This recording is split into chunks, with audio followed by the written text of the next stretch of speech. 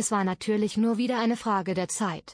Aber es hat Tradition, die Kaisermania an den Dresdner Filmnächten war auch dieses Mal nach wenigen Minuten restlos ausverkauft. Da störte es die Fans von Roland Kaiser, 72, auch nicht, dass die Tickets schon wieder teurer geworden sind. Für die Konzerte am 25.26 Juli sowie am 8. August 2025 würden dieses Mal 109,90 Euro fällig und damit gut 10 Euro mehr als noch im vergangenen Jahr.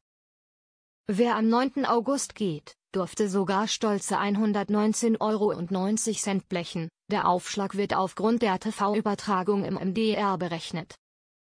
Punkt 10 Uhr ging es am Freitag bei Eventim los, nach nur wenigen Minuten war nichts mehr zu bekommen. Ich möchte die Menschen, die meine Konzerte besuchen, bestmöglich unterhalten und ihnen einen schönen Abend bereiten. Ich kann mich glücklich schätzen, dass so viele Menschen meine Live-Shows sehen möchten.